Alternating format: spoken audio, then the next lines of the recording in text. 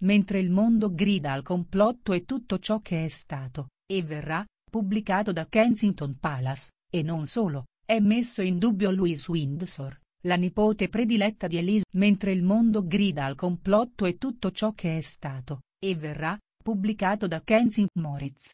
Ciò che più colpisce però è la somiglianza con la no. 20 anni, studentessa universitaria modello alla St. Andrews University, dove studia inglese, scelta che già prima di lei avevano fatto William e Kate, che si conobbero proprio a St. Andrews.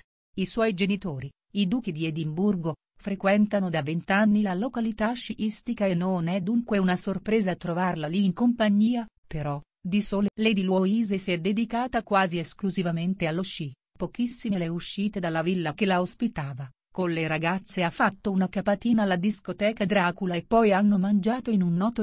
Secondo voci di palazzo in molti scalpiterebbero per poter coinvolgere la giovane, studentessa universitaria modello, negli impegni ufficiali.